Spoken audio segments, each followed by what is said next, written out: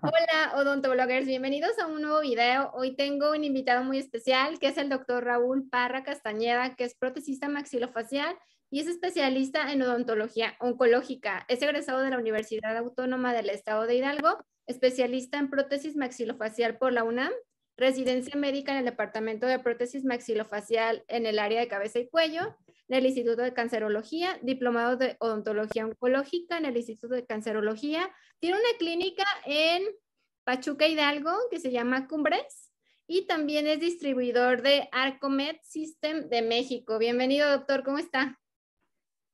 Muchas gracias, doctora Paula. La verdad es que, eh, pues entusiasmado, eh, feliz, lleno de mucha alegría. Me encanta mucho cuando me invitan a dar pláticas hablar de mi especialidad porque al final de cuentas, pues muy pocos colegas o alumnos que todavía se encuentran en odontología, están por terminar y están dentro de, pues no conocen como tal la especialidad, ¿no? Y, y, es una especialidad quizá no muy ah, nueva, reciente, pero sí se habla muy poco de lo que es la prótesis maxilofacial. Pues hoy en día la verdad es que agradecido contigo, con, con todo tu público de poderme de, pues, estar aquí con ustedes. ¿no? Me da gusto que esté por aquí. Lo podemos encontrar en Instagram como prótesis maxilofacial MX y también en su página prótesismaxilofacial.com.mx, ¿verdad, doctor? Así es, así es, muchas gracias. Sí, estamos ahí en las redes sociales, la verdad es que pues ahí vamos, ¿no? Construyendo mucho, poco a poco, no, no, es fácil, pero pues bueno, obviamente echándole muchas ganas, ¿no? Sí, y su clínica que es cumbres.co, que es en San Pachuca Así es. Y me comentan que es distribuidor del sistema Arcomed, ¿verdad? Es como en 3D, sistemas de prótesis, ¿verdad? Exactamente. Yo soy distribuidor exclusivo de Arcomed aquí en México.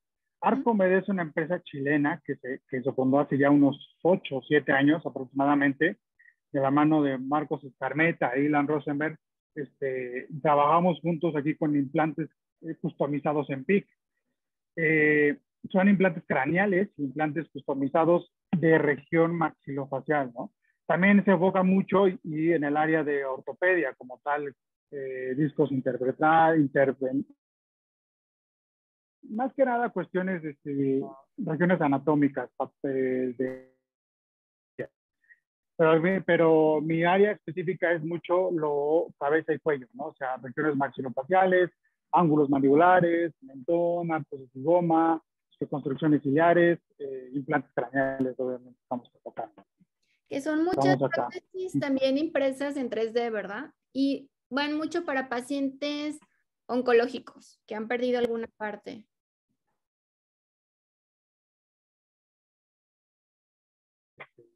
elaboración, porque son personas que han perdido prácticamente tumores por, por cuestiones este, frontales y que pierden pues hueso Recuerden que pierden parte del arco cigomático, pierden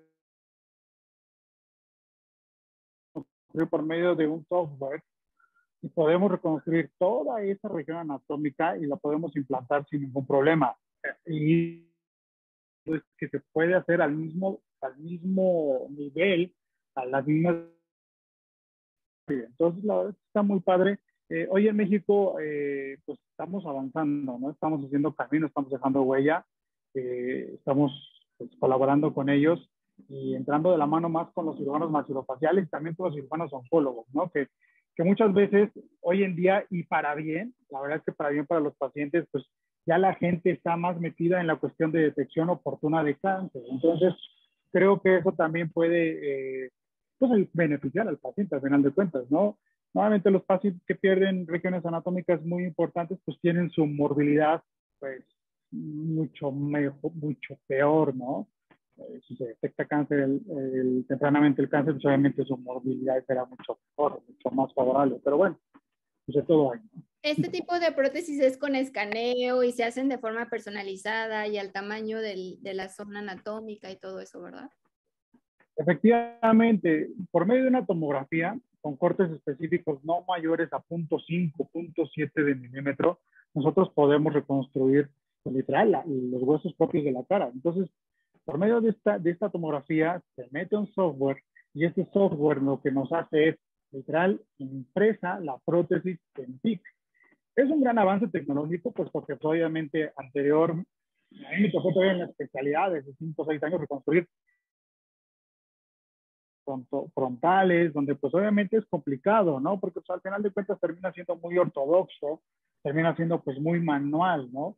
Y tienes el riesgo a veces en ocasiones de no incurrir, o mejor dicho, de incurrir en, en pero sí en regiones donde pues realmente no es conveniente estar de más, ¿no? Ok, muy bien. Hoy nos va a hablar de la especialidad, ¿verdad? Así es, mira, la verdad es que te digo, estoy muy encantado de estar aquí contigo, con toda tu audiencia, tu público que te sigue, está súper, súper padre. Bueno, pues el, el, tema que vamos a estar hablando hoy es diagnóstico plan tratamiento en prótesis maxilofacial. Y muchas veces nos preguntamos sobre qué es calidad de vida, ¿no? Y, y hoy en día tú y yo tenemos la oportunidad de poder meternos a YouTube, tenemos la oportunidad de estar en redes sociales, pero pues hay gente o hay gente que se, se, limita en muchas áreas, en muchas cuestiones, ¿no? Entonces, hoy, hoy muchas personas eh, pues no tienen una calidad de vida adecuada, ¿no? Entonces, una calidad de vida, pues hay muchos, muchos conceptos de qué es calidad de vida, ¿no? Hay gente que lo menciona que es la relación global con eventos positivos y negativos en el curso de la vida individual. Hay gente que menciona que es la evaluación multidimensional, hay gente que menciona que también los avances de la biotecnología, ¿no? Lo que estamos hablando ahorita previamente del PIC, pues hacen que esto pueda contar nuevas expectativas de vida, ¿no? Y obviamente, pues estamos hablando de que una, de un instrumento, un dispositivo, una herramienta que nos pueda favorecer por medio de la tecnología, pues siempre va a elevar la calidad de vida. La OMS, en el 2005, ya hace más de 15 años, menciona que es el, prácticamente todo el conocimiento, todo el bagaje que puede presentar el paciente, ¿no? Tanto como tal psicológico a nivel independencia, relaciones sociales, relaciones con sus elementos esenciales en su entorno, ¿no? O sea, podemos tú y yo hoy dialogar. Hay gente que no lo puede hacer, ¿no? Y muchas veces tenemos que tener esa calidad de vida, ¿no? Y también va de la mano la actitud con la que veas la vida, ¿no? Podemos ver este paciente que obviamente yo creo que ya muchos lo conocen, o al menos en el ámbito protésico maxilofacial es muy conocido, es un actor que hace o caracteriza, mejor dicho, zombies, y pues obviamente no le ha de ir tan mal económicamente, ¿no? Al final de cuentas, digo, no es dinero todo, pero pues puede tener una actitud o puede tener eh, el deseo de superarse, ¿no? Y muchas veces nuestros pacientes es donde vienen un poquito más, ¿no? Donde vienen cuestiones un poco más eh, complicadas mentalmente y hay que también echar de la mano mucho, ¿no? Entonces, bueno, si podemos ver en esta imagen, globo ocular, párpados, y si se dan cuenta, está metiendo su dedo índice por la boca y sale por el orificio, por, por lo que es la cavidad orbitaria. ¿no? Mm. Él está usando un obturador masopalatino, obviamente está súper bien confeccionado y regularmente utiliza una prótesis orbitofacial o literal nada más se cubre lo que es con un parche loco, no lo que era el Para muchos lo que no conocen o para mucha audiencia, un protesista maxilofacial se encarga mucho de la rehabilitación funcional, estética de estructuras maxilofaciales por medios artificiales. Es decir, aparte de hacer prótesis intraorales, también hacemos prótesis oculares, hacemos prótesis auriculares y hacemos prótesis de cráneo. Hoy en día, como lo estamos previamente comentando, yo también ya me dedico a la parte del PIC y este, pues, obviamente eso es un plus, ¿no? Y bueno, qué hace o cómo trabaja con un, un protesista maxilofacial, ¿no? El trabajo es multidisciplinario, ¿no? Estamos hablando que con un cirujano maxilofacial podemos trabajar maxilectomías, mandibulectomías, ¿no? Con un cirujano oncólogo hacemos doctorados nasopalatimos, también reconstruimos aparatologías para poder tener una mejor calidad de vida posterior a una reducción de, de un maxilar. Un cirujano oculoplástico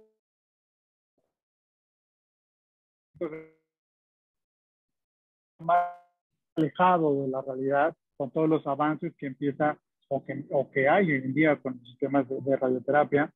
Y pues bueno, ahí fuera neurocirujano siempre estará de la mano hacer cranioplastías, tanto de, de PIC como de que hacemos hoy en día, o de PMMA, ¿no? Psicólogos, nutriólogos, pues calidad de vida, ¿no? Siempre un paciente que llegue con nosotros es referido con un psicólogo y puede tener la oportunidad de llevar un nutriólogo, estará, estará, estará, excelente.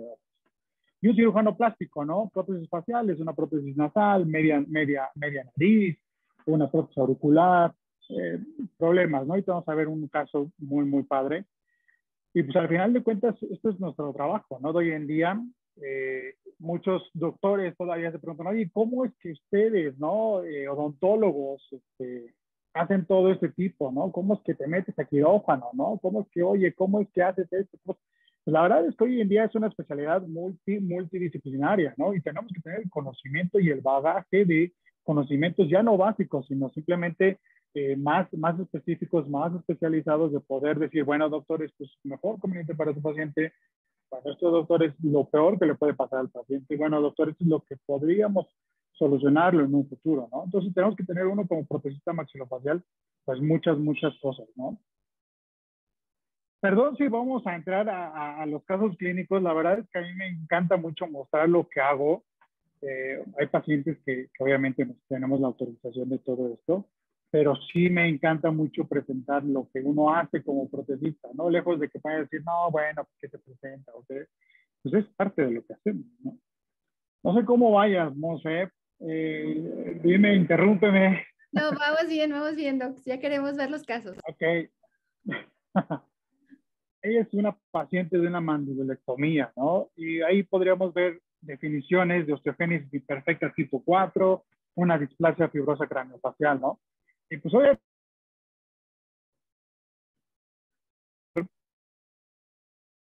de pensar que a lo mejor tenemos que hacer algo nosotros, pues tenemos que tener conocimiento de qué es lo que estamos o qué es lo que se diagnosticó a la paciente, ¿no?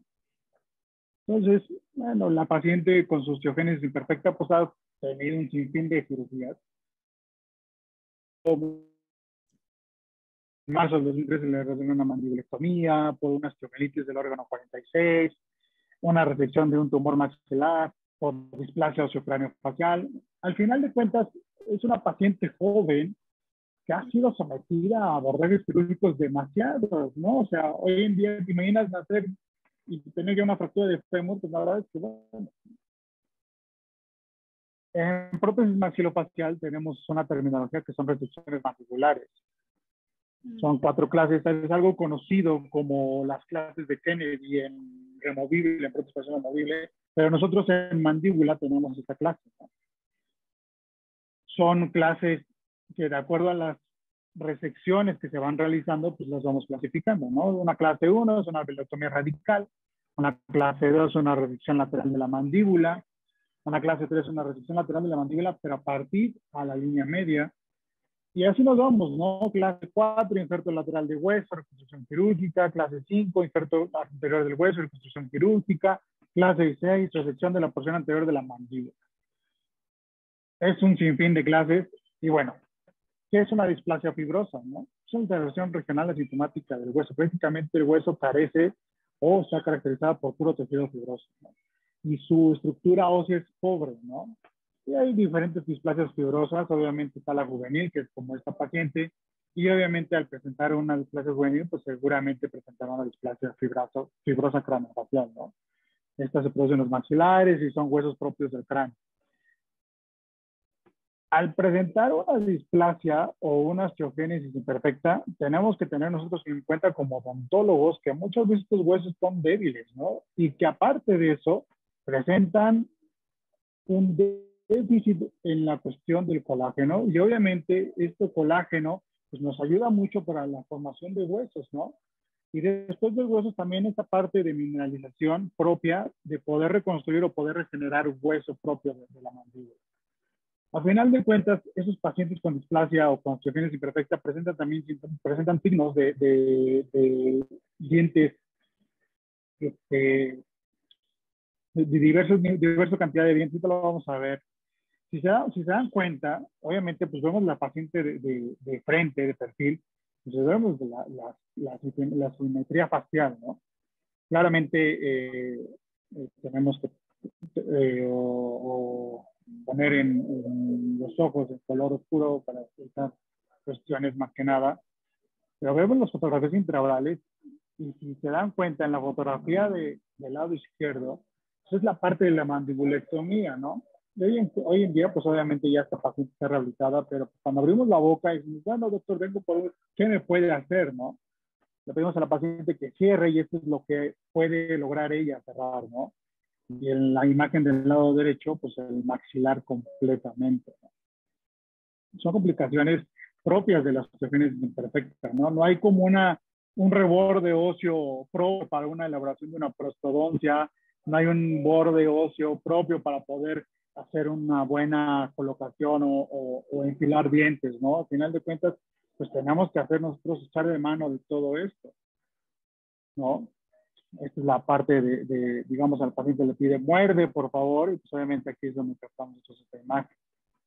Fotografías intraorales, laterales, en la imagen del lado izquierdo vemos el defecto intraoral importante, y en la, defecto, en la derecha pues está todo el reborde residual, pues amorfo, ¿no? ¿no? No tenemos forma. Y esto es a lo que iba, ¿no? Los dientes supernumerarios. ¿Cuántos dientes podríamos encontrar en un paciente con osteogénesis imperfecta, no? Pero aparte, aparte de eso, la poca densidad ósea, lo que es la parte de la mandibulectomía marginal. Nosotros como especialistas tenemos que tener, muy, eh, tener conocimiento sobre qué zonas nosotros podemos rehabilitar y qué zonas las que tenemos que dejar intactas, ¿no? Y obviamente en esta parte de la reflexión marginal, pues tenemos que obliterar esta zona o al menos lograr un buen sellado, ¿no? Porque pues, obviamente eh, no queremos que se filtre alimento, no queremos que se filtre algún tipo de, de, de pues, acúmulo de alimento al final de cuentas, ¿no? Y pueda generar un proceso posterior a una infección, ¿no? Se dan cuenta, son muchos dientes supernumerarios, ¿no? Son más de 20 dientes supernumerarios y estos son caracterizados por este tipo de situaciones. Entonces, la literatura nos dice, no extraigas dientes sobre ellos y prácticamente dejar a que la naturaleza propia del organismo, propia del ser humano, pues haga su trabajo. ¿Qué va a hacer su trabajo? Seguramente esta paciente, eh, acondicionamiento de la prótesis, es decir, van a estar exfoliando estos órganos dentales supernumerarios, van a estar exfoliándose pequeñas raíces, pequeños restos radiculares, y hay que hacer extracciones, pero lo más indicado es dejarlos ahí. Dejarlos ahí. Nada, ¿no? vamos a tener pura, pura estructura ósea pues débil, ¿no? Martín, lo que eh, eh, se ve radiográficamente, ¿no? Entonces partimos de, de los retos a la rehabilitación, pues es la poca apertura bucal, proceso óseo residual marginal, antecedente sistémico, la simetría facial y la poca recuperación del paciente, ¿no? Plan de tratamiento, elaboración de prótesis totales cubriendo el defecto mandibular. Y partimos de esto, ¿no? Tener conocimientos básicos de prostodoncia para un protesista maxilofacial es esencial, ¿no? Súper, súper esencial. Tomar impresiones con alginato, tomar impresiones con individualizadas posiblemente ya no con óleo de polisulfuro, pero sí con otro tipo de silicón, como el polivinil silicano de consistencia media. Además, tener, tener este, pues gran parte de lo que es el conocimiento odontológico, ¿no? Básico. Y obviamente el manejo que uno debe tener, ¿no? Digo, tiene que gustar la ¿Mande? Tiene que gustar la prótesis. Sí, sí, sí, sí. E, e, es, es, es lo que siempre eh, cuando vienen nuestros asistentes y ven ortodoncia y prótesis, se inclinan más por la ortodoncia, ¿no? Porque la prótesis, pues obviamente es trabajo, mucha paciencia, ¿no? Mucha, mucha mano y es donde a lo mejor dice uno, ah, no, yo quiero mejor algo eh, no, no que me cueste trabajo, sino que sea, sea más tangible en un momento dado, más rápido, ¿no? obviamente la prostodoncia, la prótesis lleva tiempo, ¿no? Sí. Es una prueba de rodillos de cera, Vamos haciendo que, que nuestra paciente se sienta cómoda, toma de color. Vamos tomando colores. Y muchos se preguntarán, ¿cómo tomas color? No, si no hay dientes, pues obviamente el color de la cara, la simetría de la cara. ¿no? Somos prueba de dientes, línea media, canino a canino, hacemos guía, guía canina. Tratamos de que el paciente eh, logre importante en lo que es la reacción de, del reborde residual, pues obviamente eh, hay que hacer cosas mm, quizás un poco más extremas, ¿no? Enfilamos nuestros dientes, los metemos a un articulador. Cuenta, pues obviamente muchos aquí ortodoncistas, pues, ¿qué enfilaste, no? O sea, no hay una clase de una clase 1, una clase 2, no, hay nada, ¿no? O sea, al final de cuentas, la mejor oclusión que le podemos dar al paciente es esta, ¿no? Tenemos fotografías laterales y no tenemos premolares. La paciente tenga una funcionabilidad, ¿no? Si buscamos una estética, obviamente la vamos a lograr, pero lo que queremos es que la paciente tenga función, ¿no? tenga función. O sea, no pensemos que a lo mejor le vamos a poner, le vamos a colocar una ola, un foro, unos implantes, ¿no? O sea, que pueda no comer. No es posible. Que pueda comer, exactamente, ¿no? Partimos de eso, ¿no? Hacemos prueba de sincera. Ay, qué Obviamente, está aquí varios, va- varios periodistas miran hoy qué pasó, pero la verdad volvemos a lo mismo, ¿no? O sea, tratamos de, de volver Se ve muy feliz. la prueba de sincera. Se ve muy feliz, está encantada, ¿no? Sí. Y estas son las prótesis. El defecto, El enfilado de dientes es el defecto óseo lo llenó con acrílico. Efectivamente, en la parte de, de la prostodoncia inferior, el defecto va lleno de acrílico. ¿no? Mm, ok. ¿Por qué lo obliteramos? Porque muchas veces funciona también de anclaje para mí. Mm, ¿sabes? sí. Entonces, este anclaje protésico me funciona de maravilla porque evitamos que la prótesis tenga una dislocación o tenga una movilidad eh, pues que no, que no queremos. Entonces, este anclaje pues me lo da el propio defecto igual. ¿no? En superior, pues obviamente tratamos de hacer muchas cuestiones. Meramente es una, es una impresión de una prostodoncia, pero o sea, recordemos cómo está el reborde. Y obviamente la paciente se ve ya con los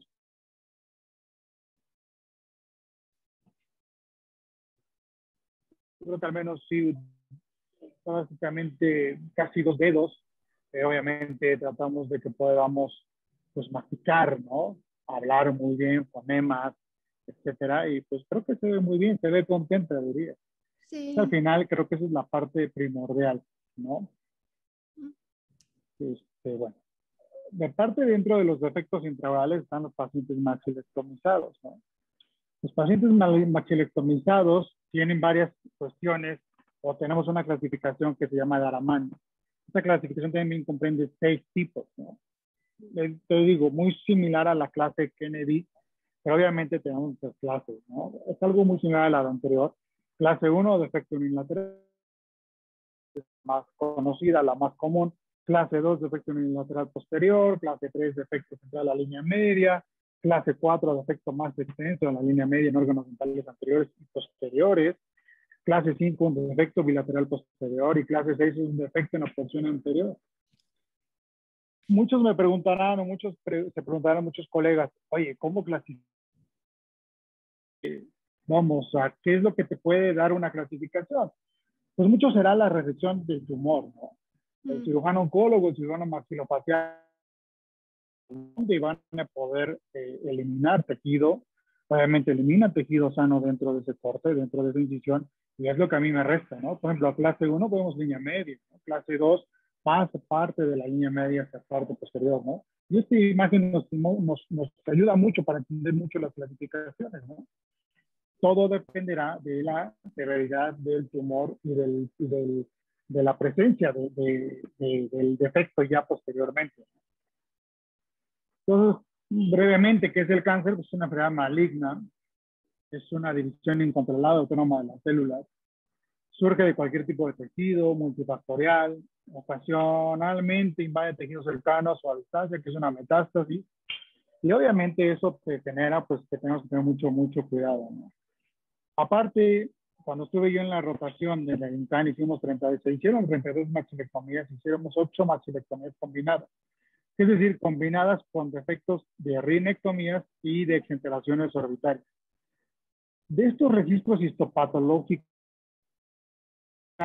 carcinomas epidermoides, dos carcinomas vasocelulares y un carcinoma vasocel- vasocelular. Obviamente, eh, el carcinoma epidermoide es casi el 90, 95% en todos los cánceres, pero de ahí se va, va, va avanzando. ¿no? Es un obturador palatino junto con una prótesis. ¿no? La maxilectomía es prácticamente en estos pacientes indicada. Es un paisano medio de aquí de Hidalgo. Le hacían la exenteración orbitaria, en la misma cirugía le colocaban, le rotaban un colgajo para poder cubrir esta exenteración orbitaria. Aparte le aplican radioterapia, 30 fracciones de Grace.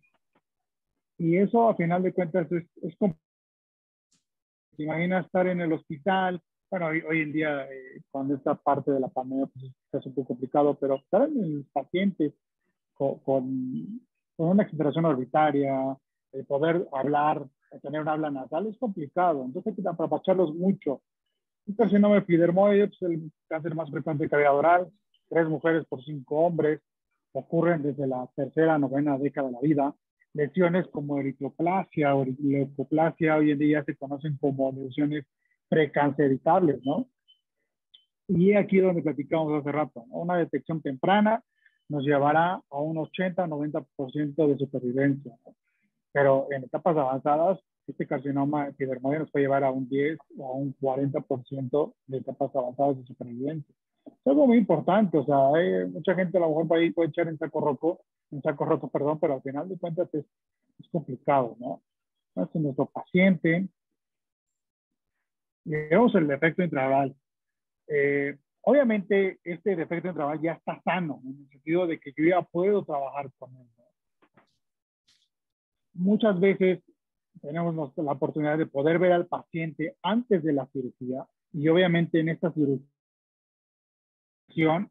y sobre esa impresión podemos elaborar un obturador preoperatorio o un obturador de algún modo que nos pueda funcionar o que le pueda funcionar al cirujano oncólogo y posteriormente le pueda funcionar al paciente para poder hacer, pues, un, por así decirlo, un defecto psicológico menor.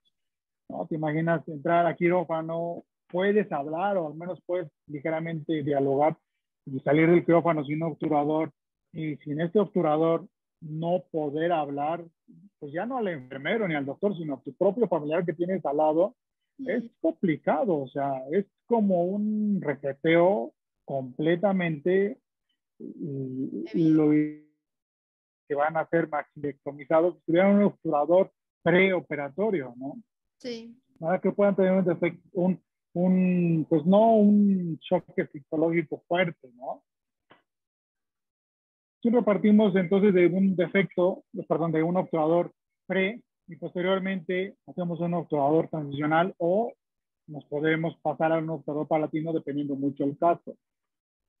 Este es el obturador preoperatorio o obturador quirúrgico también llamado y aquí muchos colegas pueden decir, bueno, ¿qué, qué es? No, es un acetato, es un acetato con un, con, con un acondicionador de tejidos.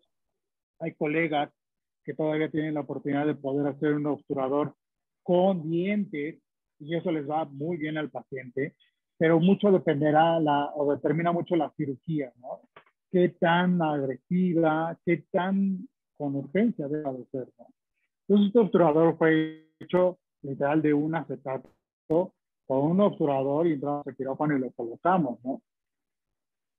Hacemos lo mismo de una toma de impresión, somos tomas de impresiones con cucharillas individualizadas y en la parte final hacemos lo que es la, la toma de impresión con de polisulfuro. Nos, nos basamos de, de, materiales básicos, como tal la modelina.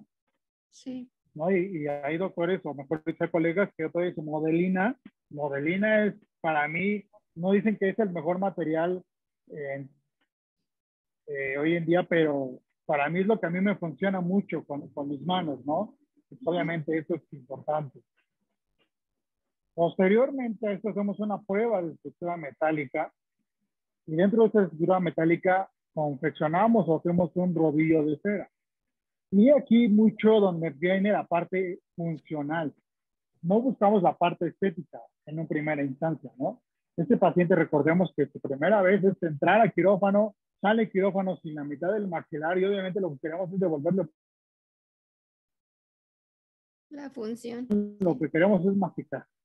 Entonces, esta masticación nos la va a dar este obturador. ¿Qué queremos? Obviamente, pues que pique, ¿no? quiera alimento. No buscamos estética. Toda esta prueba de rodillos pues nos lleva a alguna manera poder eh, tener ya una colocación de dientes, ¿no? Tomamos arco facial y dentro de estos arcos faciales podemos determinarlo sobre el articulador ya lo conocemos. enfilamos dientes sobre lo que es el, el obturador. Confeccionamos nosotros como protecistas, tenemos la habilidad de poder hacer nuestro propio mostrado, nuestro propio procesado, algo que en muy pocas escuelas de odontología del país se logra, que te enseñen, que te, que te, que te adiestren sobre el manejo de muglas, y la verdad es que nosotros lo manejamos muy, muy bien. Hacemos nuestro propio pulido, nuestra propia confección del obturador y cubrimos prácticamente el defecto. Hoy en día, muchas veces este, este el defecto puede generarle peso al paciente, ¿no? Pero al fin es un obturador que le va a funcionar, ¿no? Es un obturador que no es el primero, ni que es el primero, pero no es el único vida, ¿no? Primero Dios ocupará más y obviamente, pues, claramente estaremos aquí para hacerlo, ¿no? Y es aquí donde yo te decía, ¿no? Estéticamente, eh, podría haber otro, cualquier otro doctor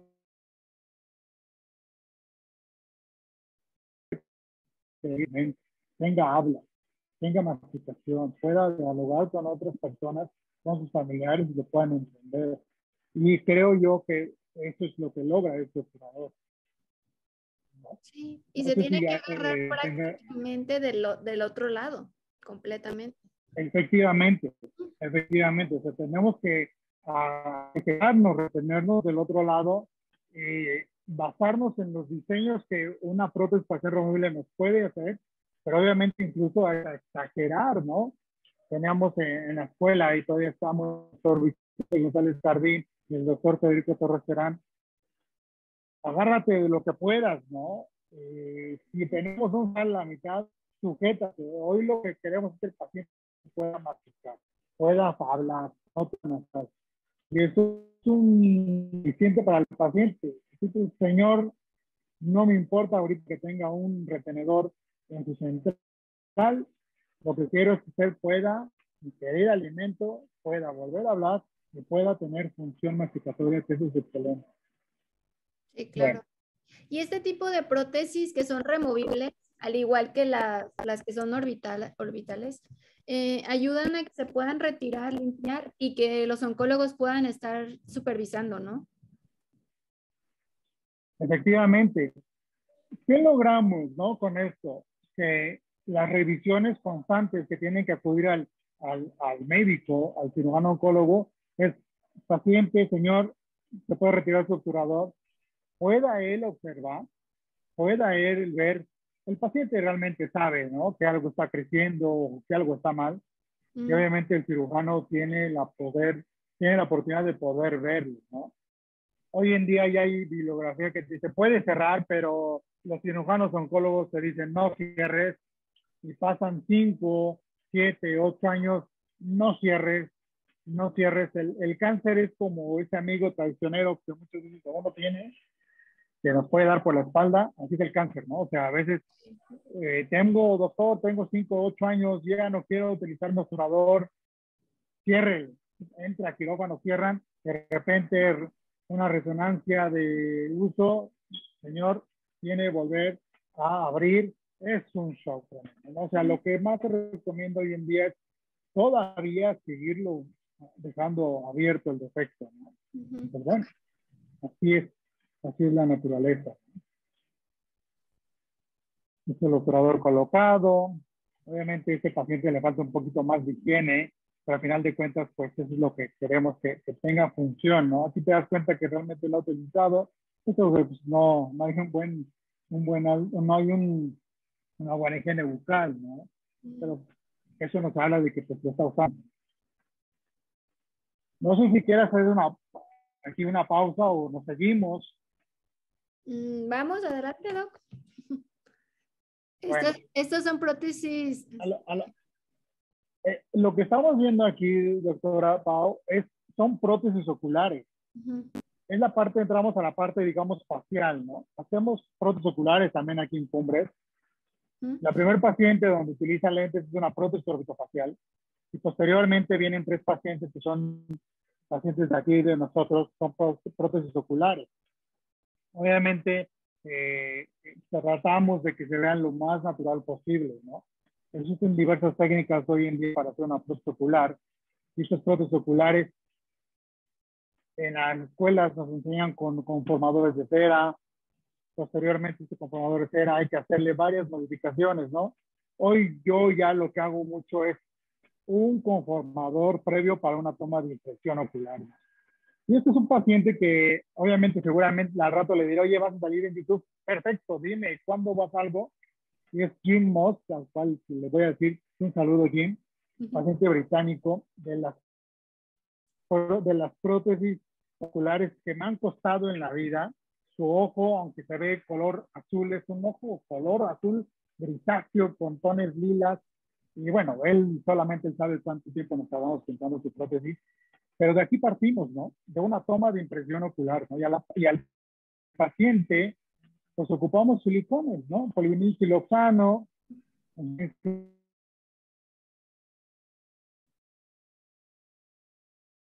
y que puede generarte ya el, pues, la impresión. Pero yo lo que hago es manual, ¿no? Mi conformador, perfecto, ponemos una impresión que mueva, que mueva el ojo, ¿no? Sube, abre, derecha, izquierda, ¿no? Le pedimos a Jim que, que, que haga este movimiento para que puedan copiar todo copiar todo lo que tenemos dentro de lo que es la calidad ocular. ¿Qué garantizamos con esto? Que nuestra prótesis tenga pues una huella, ¿no? Y entonces en esa huella nosotros tengamos una mayor movilidad de la prótesis ocular.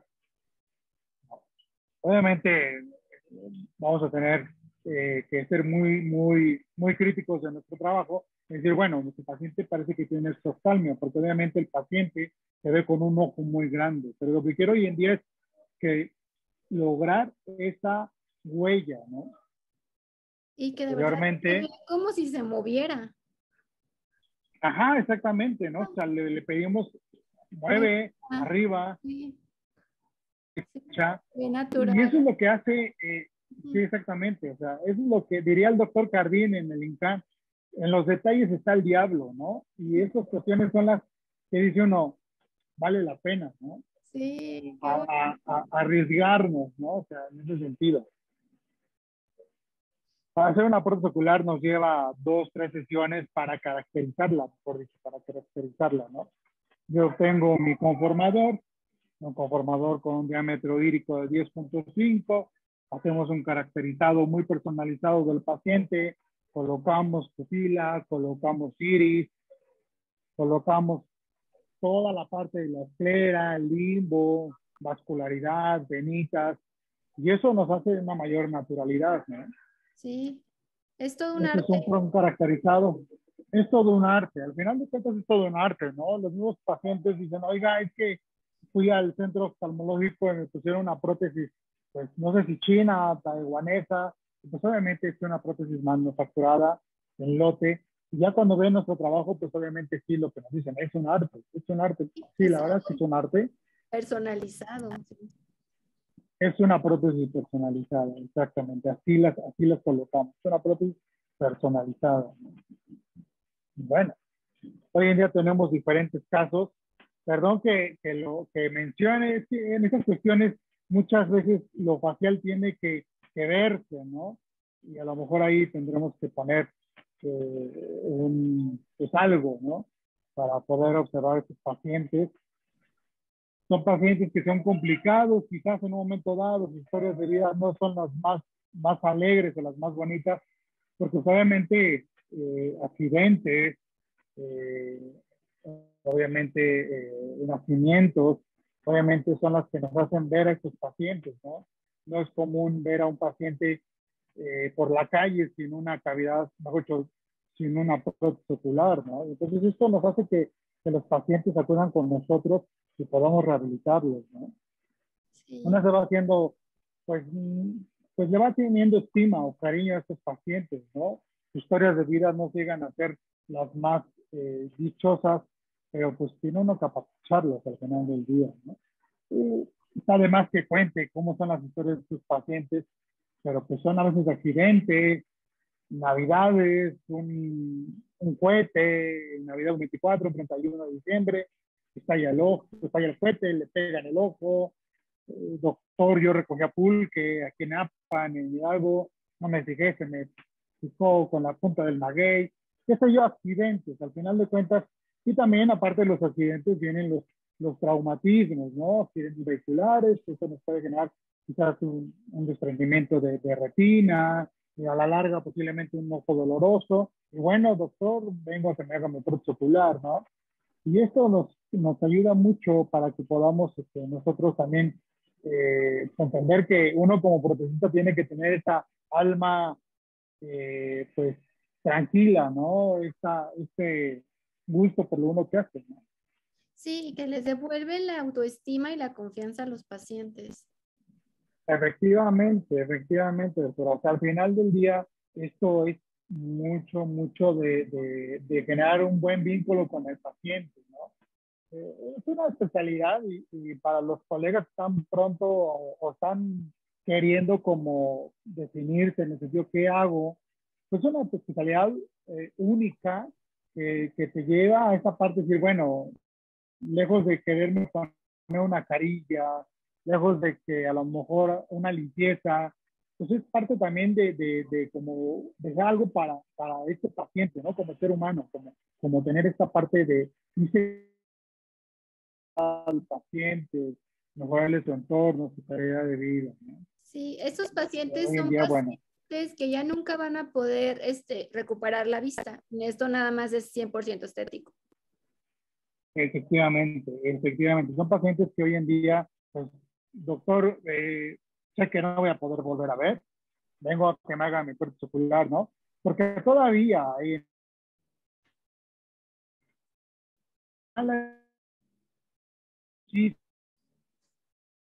estereotipados, ¿no? O sea, oye, mira, ve esa gente, oye, mira, ve esa persona, ¿no? Oye, mira, ve, ya viste que el vecino algo le sucedió en el ojo, oye, ya viste que a la vecina, oye, viste que el mecánico eh, no trae su ojo, oye, viste, o sea, el viste o el ya, ya checaste, eh, indudablemente le genera a nuestros pacientes eh, un algo, algo, algo psicológico muy fuerte, ¿no? Y uno tiene que llegar acá con ellos y pues obviamente apapacharlos, ¿no? Y ya no te digo de los pacientes pediátricos, que la verdad es que no los puse porque eh, es, una, es algo fuerte, ¿no? Pero son pacientes que, que primeramente ver niñitos de dos, tres meses de edad con diagnósticos de retinoplastia, de, de, retino, de, de retino y que pierden un ojo, pierden dos, pues es, es, fuerte, es fuerte. Entonces, al final de cuentas, hay que tener mucho, mucho alma, mucha, mucha sangre para vivir ¿no? Y en cuestión y ya, de niños, este, como vayan creciendo, se va a ir cambiando la prótesis ocular, ¿verdad? Se escucha Perdón, ya no, ya no te escuché. Se escuché un poquito trabado. Sí, este, cuando son niños, conforme vayan creciendo, se va a ir cambiando y se van haciendo un poco, se van cambiando de tamaño estas prótesis oculares. Efectivamente, más, más, he tenido pacientes con anostalmia o con microstalmia que, que, nacen así. Y obviamente estos pacientes hay que hacerles sus conformadores pues, pequeñitos, ¿no? Del tamaño de mi, de mi uña. Y literal, con permiso, colocamos conformador y señora, papá, mamá, bienvenidos porque esto va a ser de por vida. Y pues agarrar valor, ¿no? Porque el paciente pues todavía nos chilla mucho, el paciente todavía esa, pues esa claridad mental, esa, esa claridad de decir papá, mamá, échenle muchas ganas, bienvenidos a este mundo protésico ocular donde tendremos que estarnos viendo en constantemente, ¿no? Este tipo de... No hay como tal... Ajá, doctor, ajá. ¿deben de quitar en la noche? Este tipo de prótesis oculares yo recomiendo mucho quitarlas en la noche, pero hoy en día el paciente te puede decir, ¿sabes qué? Yo no me la quito en la noche porque no le gusta a mi esposa. ¿Sabes qué? No, me, no le gusta a mi esposo. No me gusta cómo me ven mis hijos, mis nietos y me la dejo diario. Uh -huh. Está bien. Al final del día, estos prótesis oculares no nos van a generar que se la quede unos dos, tres días seguidos, ¿no? pero sí le pido al paciente que no se la deje una semana. Que la saque y la limpie, o sea, tienen, sí, ¿no? tienen que limpiarla. Un aseo, ¿no? ¿Cómo se limpian estas prótesis? Estas prótesis las pueden lavar muy bien con jabón, líquido neutro y secarlas con una gasita que no genere eh, o que no tallen la prótesis, que no dejen, que no dejen como estas, como estas fibritas que se vaya a desprender la gasa, o dejarla simplemente que seque con un Kleenex y dejarla en su, en su, en su cajita. Yo aquí en Transcumbres le doy una cajita a los pacientes. Perdón que aquí está cayendo un diluvio en Pachuca, ¿eh? Está lloviendo diario. No se preocupe, aquí lo escuchamos bien. ok. Una cajita. no me mojo en mi terracita. Ajá, les doy una cajita y en esa cajita les pido, ¿por qué les doy una cajita? Fíjate, fue algo muy chistoso. Viene una persona ya grande de edad, una abuelita, es que doctor, no me hago mi prótesis ocular desde hace 20 años, ¿no? ¿Por qué no se la hace desde 20 años? Lo que pasa es que mi perro me la mordió. Oiga, ¿y qué hizo su perro? No, mi perro ya falleció y falleció hace dos, tres meses y vengo a que me haga una protocolar porque tenía miedo a que si yo dejaba mi protocolar se la comiera mi perro. Diga, pero su perro, ¿por qué no? Se la muerde, se la muerde. Entonces, obviamente, pues son cuestiones, fíjate, Pau, que son cuestiones que son muy, muy chuscas, pero hasta en eso los pacientes uno tiene que tener, pues, el gozo, ¿no? De hacer las cosas, el, decirle, bueno, hacer una cajita que sus perros, los chihuahuas, o los perros más grandes que no muerdan las prótesis oculares, ¿no? Ya es escuchamos el tormentón allá en Hidalgo, Doc. Ya escucharon los trajes, ah. hombre. Llueve diario, acá en Pachuca parece Londres, pero pues bueno, ojalá fuera Londres. Sí, Pachuca también está bonito. Sí, claro, Pachuca es hermoso, Pachuca es hermoso. Bueno, dentro de las prótesis orbitofaciales podemos encontrar muchas prótesis eh, mejor dicho, la, la, característica de estos pacientes, muchos cáncer, tumores, tumores como esta paciente de un nervio óptico, donde tiene que hacerse la temperatura orbitaria completa, párpado superior, párpado inferior. Pero al final de cuentas, pues imagínate, no puedes salir hacia la calle, ¿no? Estos pacientes no pueden salir hacia la calle. ¿Qué hacemos siempre? Iniciamos con una prótesis ocular, siempre el mismo, el mismo caracterizado, una impresión, mejor dicho, pero hacemos una, una portocular de un tamaño anatómico considerable para la paciente. Y posteriormente tomamos una impresión. Mm. Estas impresiones las tomamos con alginato, un alginato eh, que, le da una buena consistencia, ¿no? Logramos obtener, obtener una impresión fácil con este por favor, y corremos nuestra impresión con yeso piedra o yeso vermis. Al final de cuentas, lo que vamos a hacer es tener un molde y de ahí hacer una ceroplastía que caracterice lo que son párpado superior y párpado inferior. ¿no? Posteriormente, dentro de este caracterizado, enmoflamos, procesamos nuestro caracterizado final y convertimos en un silicón. Con lo pintamos, lo caracterizamos, le agregamos pigmentos, le agregamos vello, le agregamos texturas, le agregamos muchas cosas. Hay varios caracterizados como tal intrínseco, extrínseco, que es lo que vamos haciendo. ¿Es silicón, me dice quirúrgico? Es un silicón grado médico, es un silicón muy parecido al silicón de las ventanas. Es un silicón, seguramente has, has visto cómo el silicón de las ventanas es como, como translúcido, o hay silicones blancos, vamos acá nosotros es de la marca Factor 2. Es un silicón muy fluido que obviamente eh, con especificaciones médicas nos hace que podamos caracterizar. Hoy en día, bueno, la paciente... ¿Perdón? Se adhiere muy bien y no es pesado, ¿verdad? Exactamente, sumamente ligero. Con, con, con pigmentos, perdón, con, con aditivos a base de agua. Estos adhesivos a base de agua también son de la marca Factor 2 o podemos encontrar también marcos nacionales, ¿no? Si el paciente, oiga doctor, no, no, no encontramos este adhesivo, no lo podemos traer de Estados Unidos, es imposible.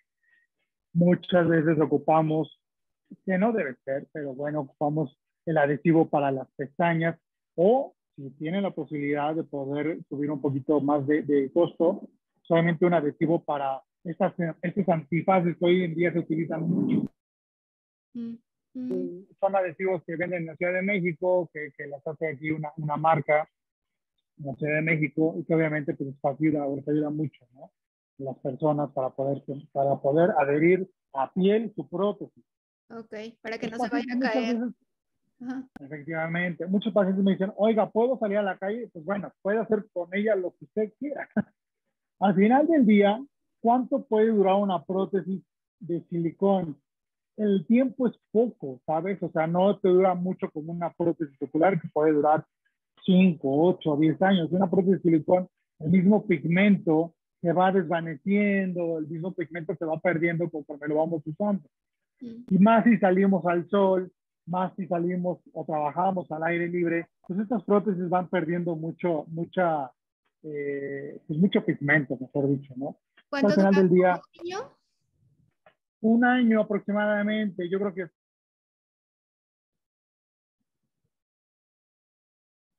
este año hacemos un recaracterizado, tenemos nosotros nuestras propias, digamos, muflas, en donde podemos nosotros guardar sus prótesis durante un año y hablarles, oiga, señora Felipa, ¿cómo está con su prótesis, doctora? Voy a verlo porque ya mis hijos me hicieron burla, ¿no? Que está más morena que mi propia piel. Perfecto, señora Felipa, aquí la vemos, ¿no? Pero qué bonito.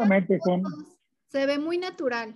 No parece sí, Sí, qué bonito. Sí, muchas trabajo. gracias. La verdad es que sí, sí, sí, me, me encanta esto de, de poderles devolver al paciente la naturalidad, ¿no? Sí. Obviamente la prótesis está fija, ¿no? Si tú le pides al paciente, gira a la derecha, mire a la izquierda, mire a la izquierda, mire a la derecha, pues su, su ojo natural se va a mover, ¿no? La prótesis va a quedar fija. Ujú, Sí, Eh, obviamente eso ya, ya, mucho. ya es meramente estético. Ujú, y pacientes que eh, obviamente los efectos propios me generan a mí como retención. Entonces estas retenciones anatómicas pues, ujú. a- favorecen que aunque el paciente diga, "Ay, doctor, no me alcanza para el adhesivo, no se preocupe, coloque el de adhesivo de pestañas, pero póngase su prótesis porque tiene un buen defecto que le va a ayudar mucho a su, a la- a su prótesis. Perfecto, doctor, muchas gracias, ¿no? Y bueno, como esta pacientita que obviamente pues eh, eh, escasos recursos, ¿no? Que tampoco poder solventar un, un adhesivo, ¿no?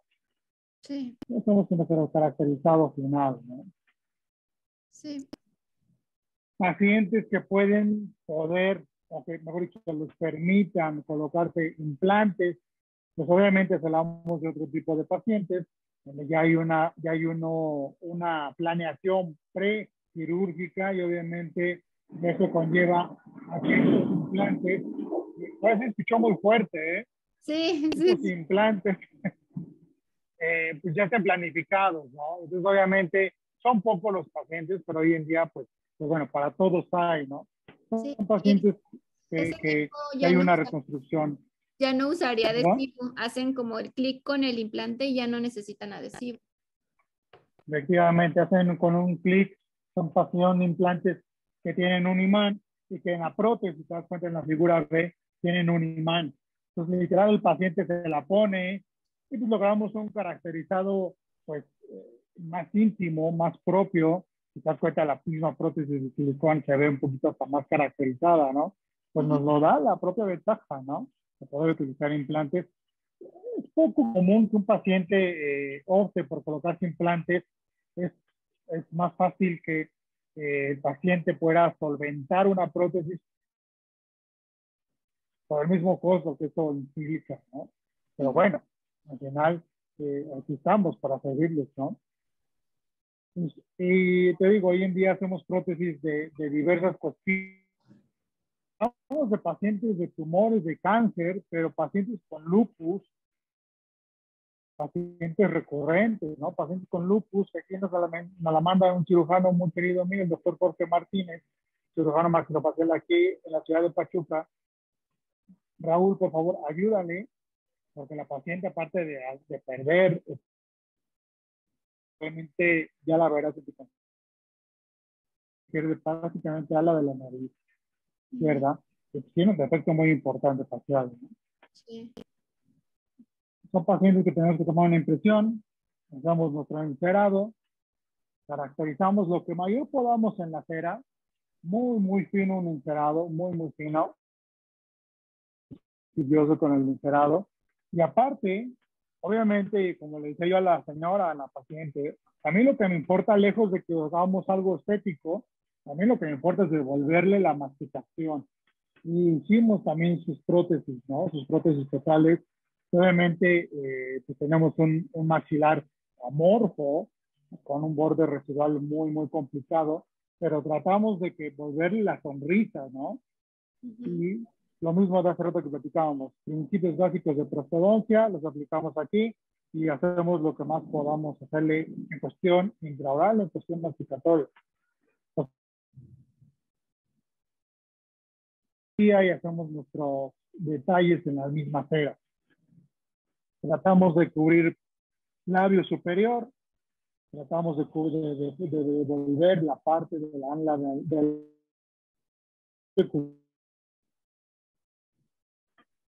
la verdad es que la sonrisa siempre es eh, una caricia al alma, ¿no? Y devolverle el poder, una sonrisa a la paciente, ¿no? Es muy, es muy, muy, es muy padre, ¿eh? como, como, lejos de como profesional de la salud, como ser humano, ¿no? Te encariñas con estos pacientes, las, las bromas, hacen bromas, tienes que estar ahí, ¿no? Tienes que estar ahí.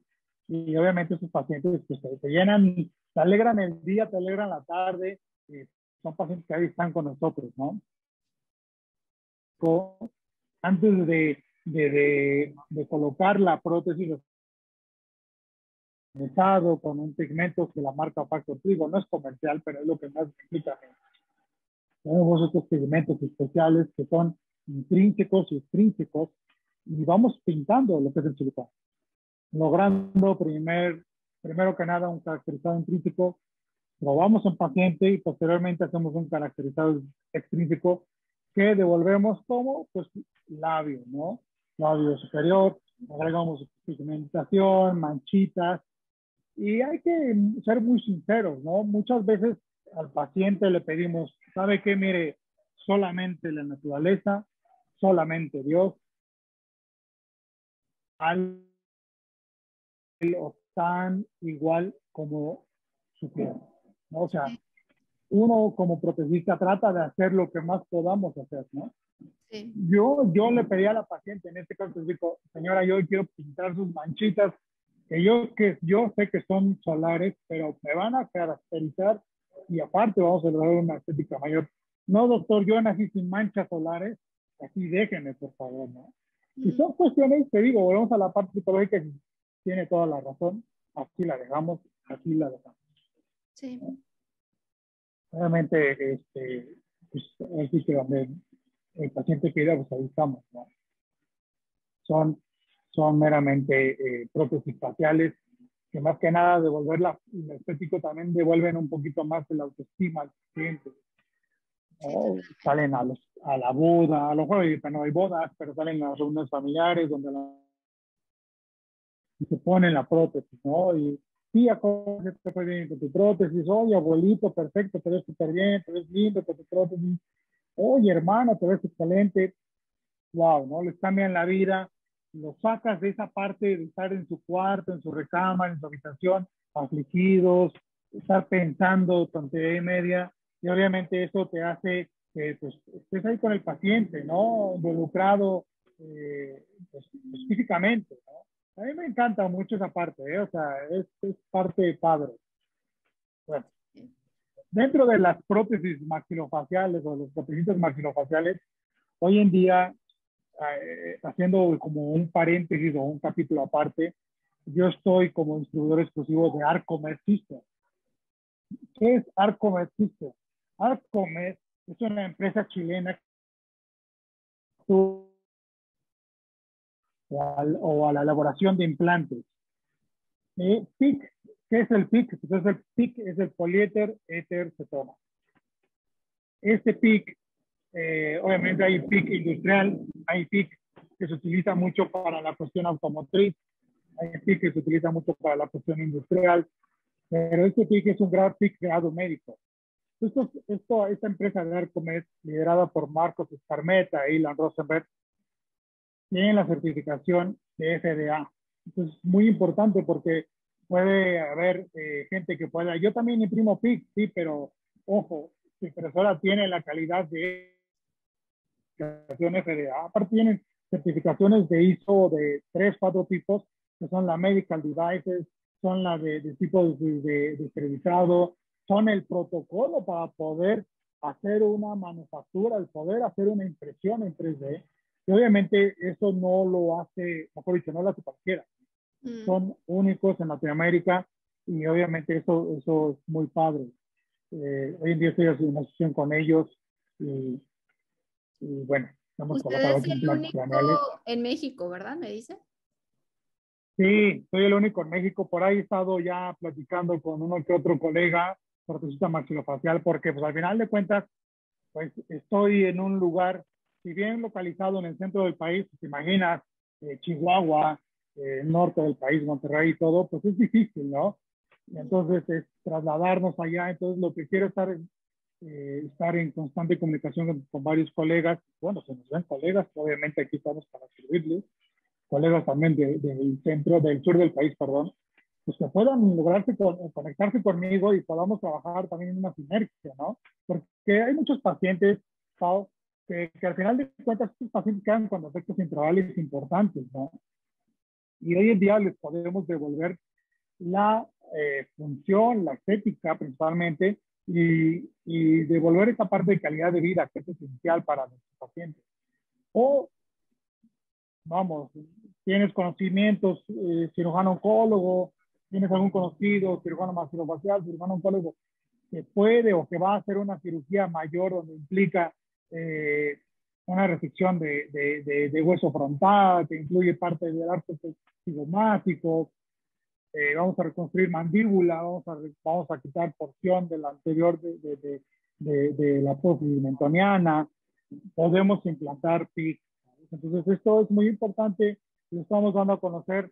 Apenas llevo con ellos trabajando un par de años, pero hoy en día, eh, pues prácticamente, digo, no es pretexto, pero dos años indica que tenemos un año de retraso por pandemia, ¿no?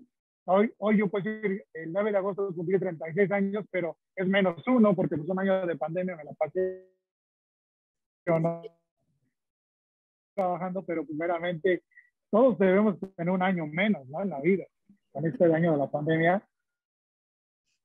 Al final del día, ahí vamos recapitulando todo este trabajo que estamos haciendo con ellos. Y obviamente, eh, pues, trabajar con los neurocirujanos, cirujanos maxilofaciales, cirujanos oncólogos es nuestro es el pan nuestro de cada día con ellos. ¿no? Yo, eh, yo fundé Prótesis Maxilofacial MX y estoy haciendo esta parte de prótesis neurofacial MX, ¿no? A la larga, obviamente, termina siendo eh, parte de lo mismo, ¿no? Descompresiva, ¿no? Muchos se pueden decir, ¿cómo un odontólogo, cómo es esa parte, ¿no? Pues al final de cuentas terminamos siendo eh, un profesional de la salud, ¿no?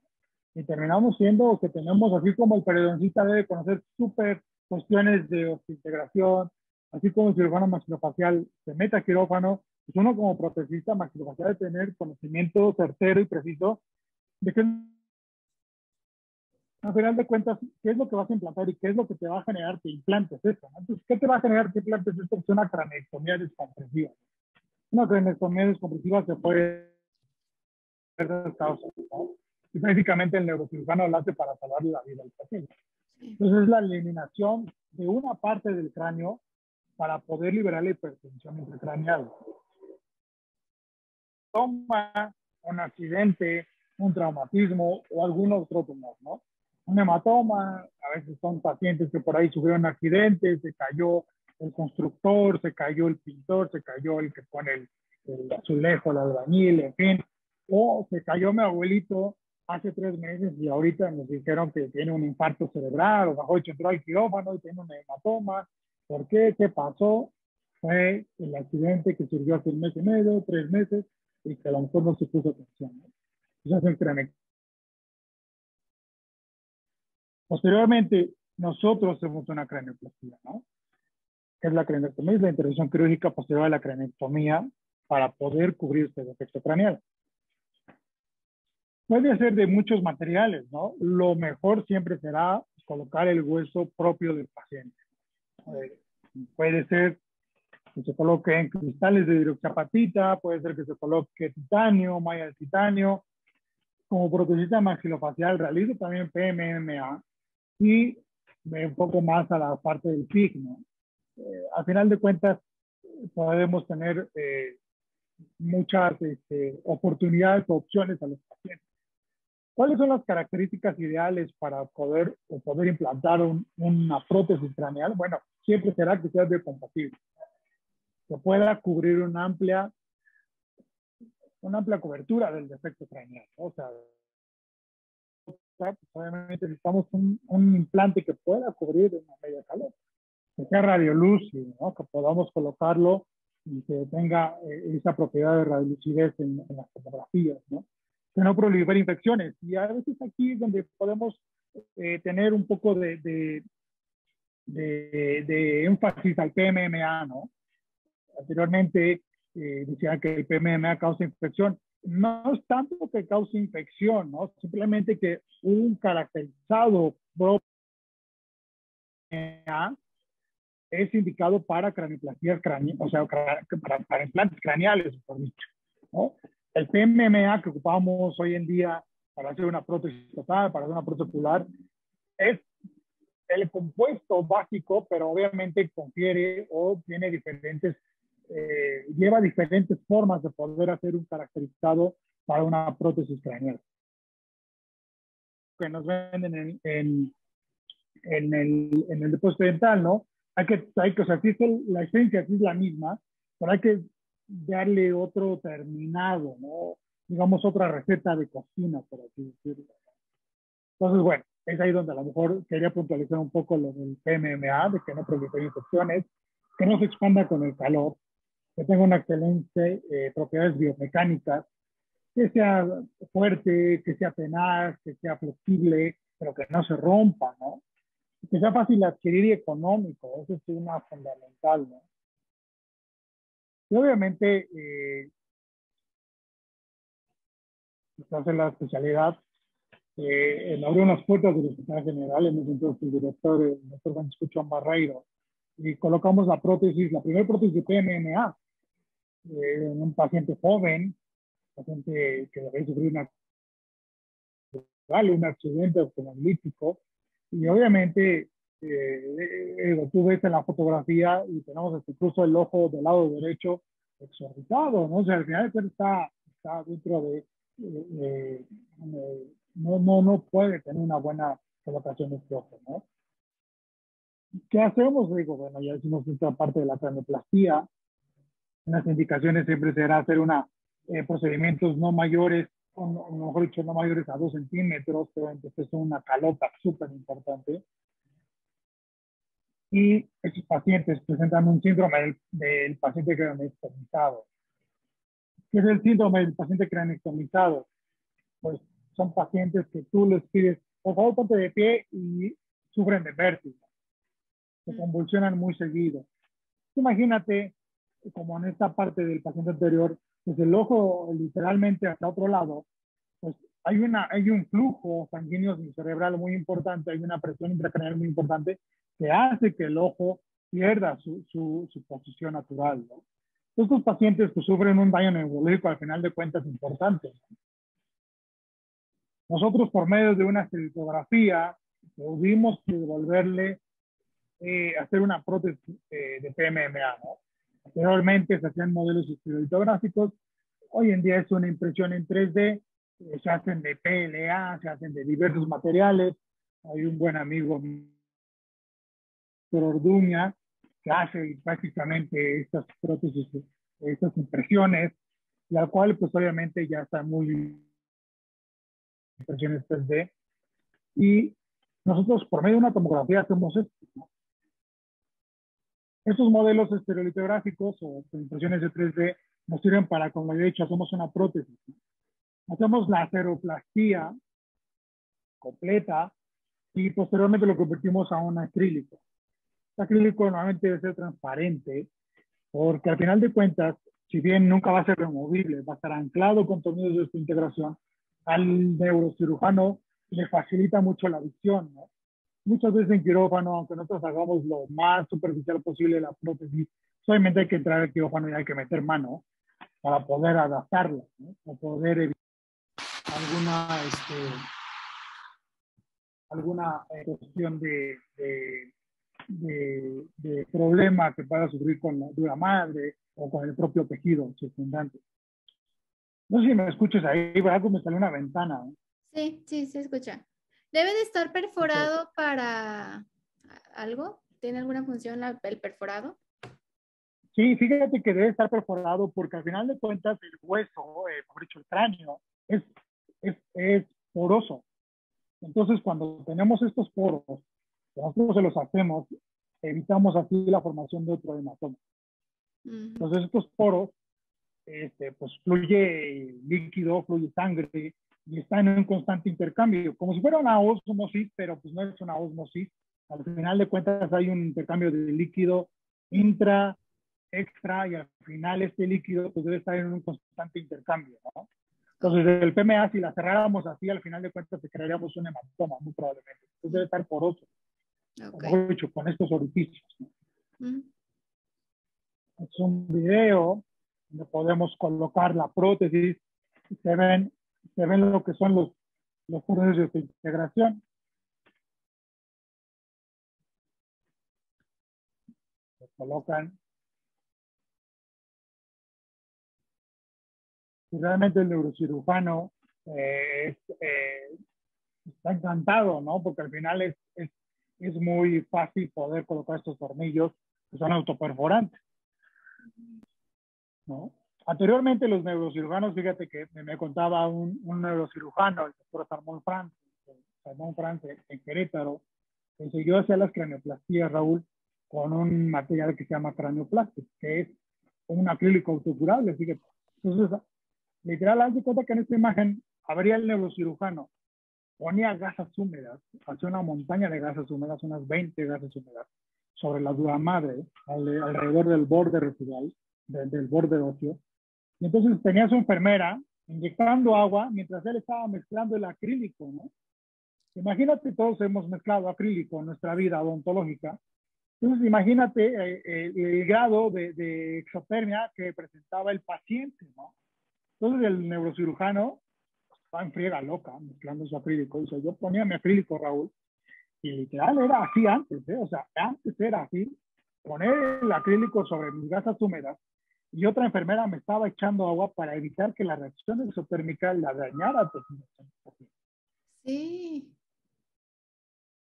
Así se hacía, así se hacía. Hoy en día, pues, este, pues ya no se hace. Eh, no, no, dudo que por ahí todavía se haga, pero hoy en día ya lo que tratamos de hacer es llevar la tecnología sí. y evitar procedimientos que, que no ¿sabes? Era lo que había, era lo que estaba presente. Y no sé si aún sigan vendiendo el cranioplastic, pero pues no dudo que por ahí todavía se emplee mucho en instituciones públicas donde, bueno, se hacía literal la masa, todos hemos moldeado acrílico, ¿no? Y sabemos que esto trata de quemar la mano, ¿no? Sí. Ahora imagínate un cerebro. Por eso es que muchas veces sí, causa infecciones la tecnología permite que ya esté prehecho, ya nada más para colocarlo al abrir. Sí, ¿y esto es muy costoso para los pacientes? Fíjate que es, es un punto importante que, que, mencionas. ¿Qué tanto puede ser costoso, no? Yo aquí les daría eh, un énfasis muy importante a los pacientes. Eh, pacientes que ya tuvieron, yo lo veo como experiencia propia, ¿sabes? Paciente joven, paciente pediátrico, no le pongas PMMA, eh, ponle PIC. ¿Por qué razón paciente de 9, 10 años, 12 años, no pongas PMMA? Porque al final de cuentas eh, hay una liberación mínima, nada, pero mínima, de monómero residual. No digo que este monómero residual me vaya a causar un problema, pero MMA, ponlo en pacientes arriba de 70, 75 años, que te puedan, eh, pues no generar un problema, pero si llega a presentarse, pues son pacientes que, que, al final del día son pacientes que ya su, su, su no es que los esté limitando, ¿no? De vida, pero son pacientes que ya han estado en una sexta, séptima década de vida. en tercera edad. Entonces, MA ponlo en pacientes que sean un poco mayores de edad, no lo pongas en pacientes pediátricos. Mm. Con PIC, ¿no? Eh, hoy en día ya se está documentando, fíjate que se está documentando algo mucho, pues hace 15 años, que el titanio se está exponiendo. ¿Por qué se expone el titanio? Y muchos dirán, oye, pero ¿por qué? Hay neurocirujanos hoy en día, es de los mejores, o mejor dicho, es el, no es mejor, pero sí es el material que comúnmente se pone en una cranioplastia. La malla de titanio como tal, se la vendían una malla de titanio completa, ¿no? o las venden preformadas. Preformadas es decir, como, como a lo mejor te pueden vender una silla, grande, chica, mediana, en tamaño que sea, ¿no? Pero preformada, pues solamente le das la forma estos, estos bordes que luego quedan entre hueso y malla pueden generar mucho, mucha fricción sobre lo que es la piel. Entonces, después de 10, 15 años, se ha documentado que esta fricción constante hace que se observe lo que es la malla titanio. Mm. O sea, al final del día dices, wow, o sea, hace 10, 15 años los neurocirujanos decían malla titanio, con malla titanio, con titanio, con titanio. Hoy en día se hacen impresiones de titanio y se están colocando. Eh, habrá que esperar para ver si realmente fue lo mejor, ¿no? Fue lo mejor.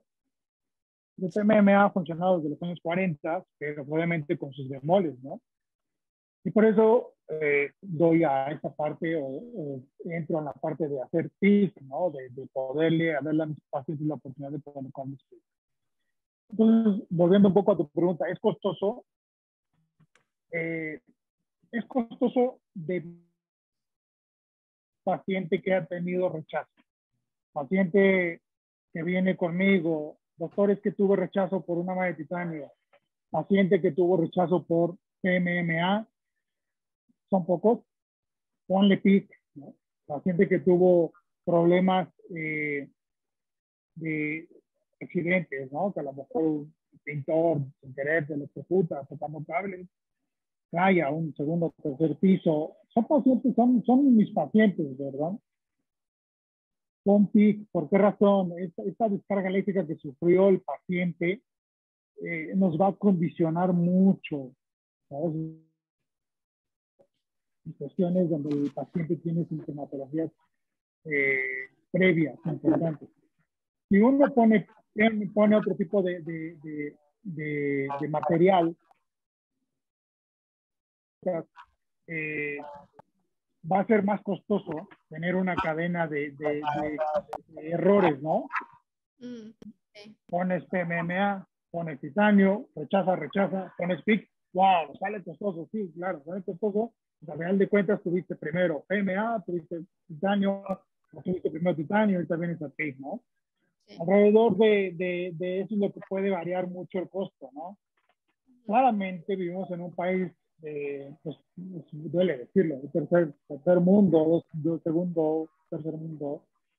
Eh, el colocar PIC es quizás un problema económico para los pacientes que son de un bajo recurso económico pero para pacientes que, que pueden solventar una prótesis de PIC, pues valdría la pena, ¿no? Que se le coloquen PIC.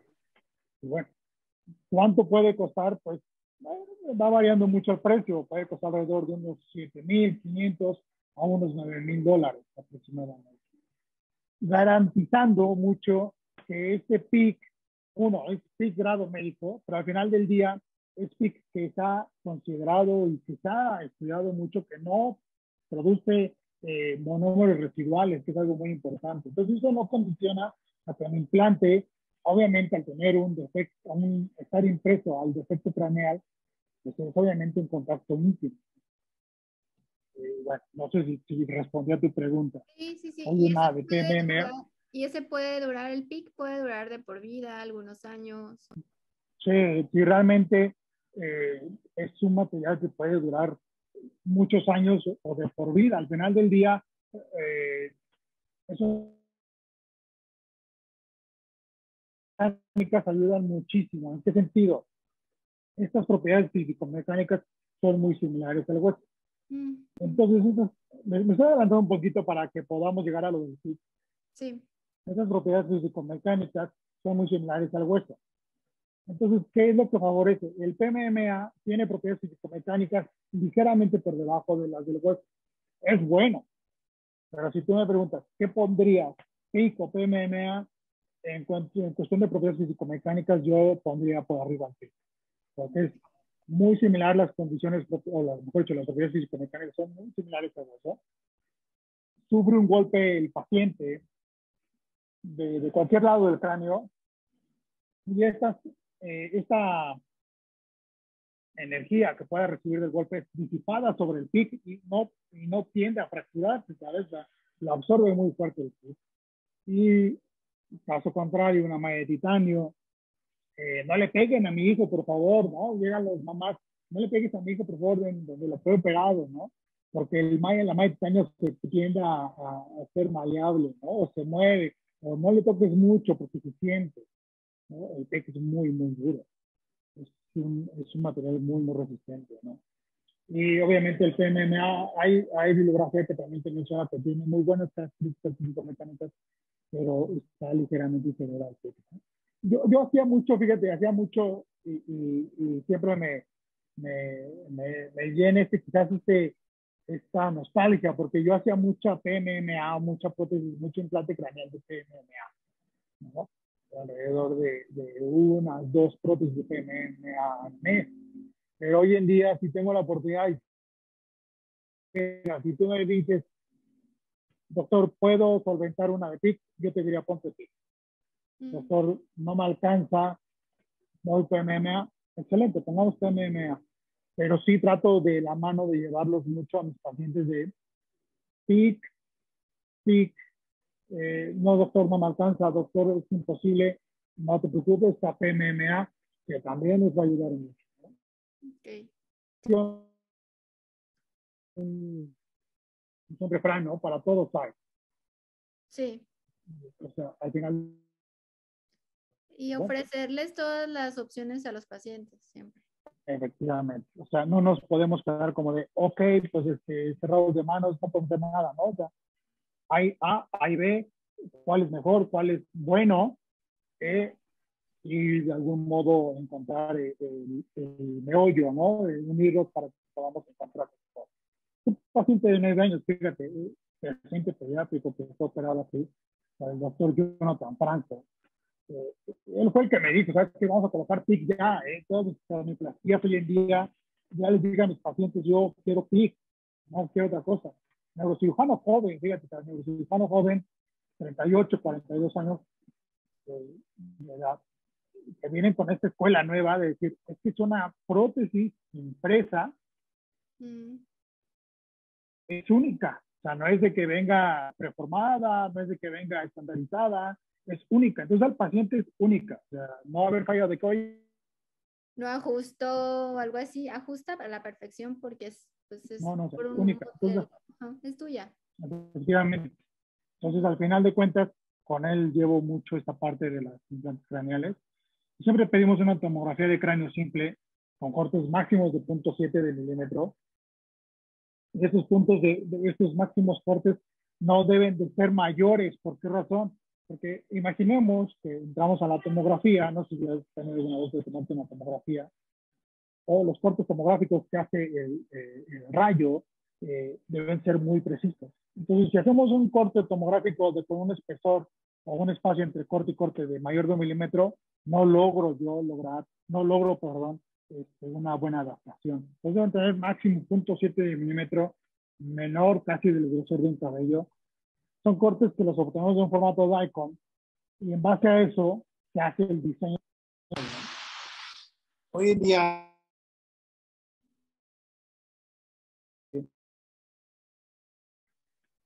de hecho aquí en Pachuca tenemos ya un implante craneal para poder ver, ¿no? poderlo tocar y todo. Y se lo mostramos al paciente y mira, esta es tu prótesis que va a ser implante. El paciente queda, queda gustoso de poder verlo. integrado al, al, al defecto óseo. ¿no? Muy importante que los pacientes conozcan sus implantes. Es una imagen de, de, de las prótesis de implantes de, de Arcomed y sufren, es una manufactura completamente llevada a cabo por Ilan Rosenberg. Hacen la impresión ellos en su impresora certificada por FDA. No sé si has tenido la oportunidad de ver impresiones de, de diversas índoles y tienen como un mallado, como, como taloncitos, por así decirlo. Sí. Exactamente. Sí. Entonces eh, se recupera, ¿no? Se recupera, es como recuperar una prostodoncia de una mufla. Ellos recuperan pues el implante, ¿no? Y es literal trabajo manual.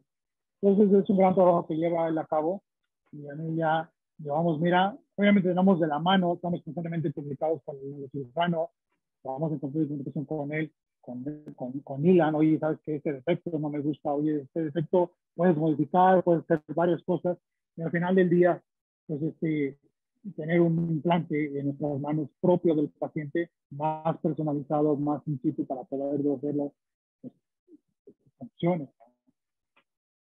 Si te das también está poroso.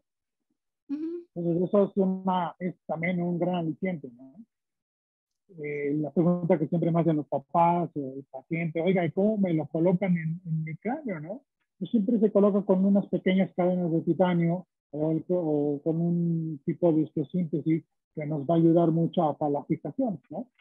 Anteriormente las prótesis de cráneo de PMMA, pues los cirujanos no colocaban osteosíntesis, no colocaban más titanio y los, y los suturaban, ¿no? Pero pues ahora estoy en día todo el, eh, el bagaje de osteosíntesis disponible, pues ya se da mucho, no, no es una, una, un implante craneal, sino una, sino una cadena de titanio. ¿no? Aquí vemos el defecto craneal la dura madre, el hueso expuesto, siempre debemos encontrar bordes.